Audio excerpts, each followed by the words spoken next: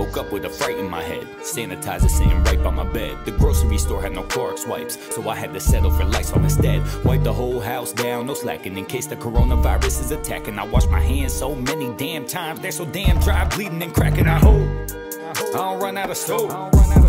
Netflix is down, I'm freaking out now. I can't watch my show. I need my coffee, but not looking forward to crapping, cause all I got left is some napkins.